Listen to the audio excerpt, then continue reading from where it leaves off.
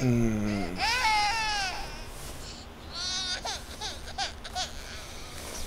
All right everybody, welcome back. Uh, in this episode, I'm just going to do a short little episode on showing how to get things set up with your proxies here and getting ready to do assistant editing and editing.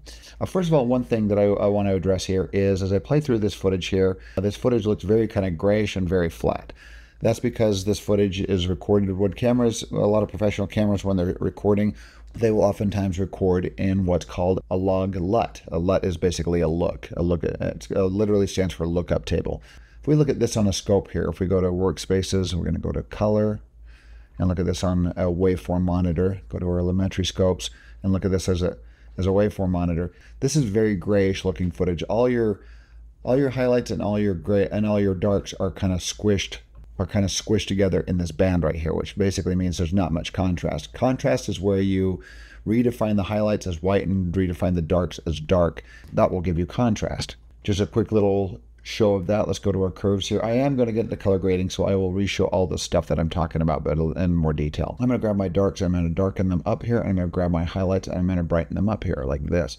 And you'll notice that we're starting to get more of a contrasty look here as we, as we spread those things further apart here. So as we turn this on and so if I turn this on and off here, you're going to see the before and after. That's giving more contrast. Let's go to the contrast slider, kind of show you the same thing. We're going to slide more contrast into this, bring up the exposure a little bit and add a little bit more contrast. And we're going to darken the darks and we're going to brighten the highlights here. And we, we're starting to get more of a contrasty image.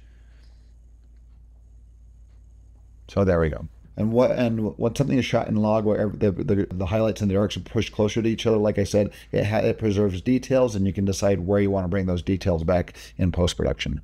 So I'm going to clear this completely here, and there was our, and when we shot this, we actually were shooting we were using what was called a display LUT. So when we looked at it at the screen, we were not looking at this. It was recording in log like this, but it was actually added a look to it, so it looked like it was finished, kind of a color grading look to it.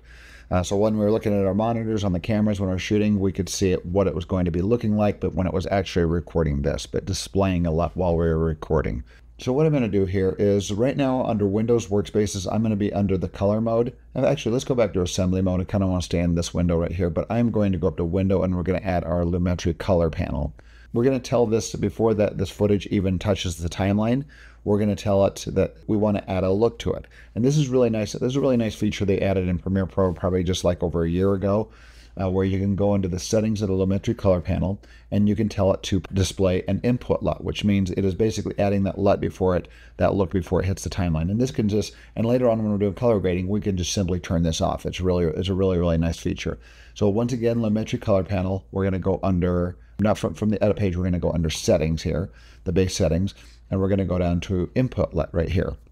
I'm going to pull this down and uh, there's one that's already been added here that I, I, was that I've already added to this. Once you add these, they stay added to your input LUTs. But I'm going to tell it to browse and show you where I've got this. I've got this saved on my Hush Little Baby folder. And there's this red LUT. We just actually exported this out of the red camera as a look here. So that's the LUT that we're using right there. That's the LUT that was displaying while we were recording. But we're going to add it as an input LUT so we can kind of see, so we're not looking at this gray footage. So I'm going to select that and hit open and I'll add that LUT to all the footage that I have selected over here. You do have to select all your footage. You do have to, let's do that again. You do have to select all your footage that you're adding the LUT to.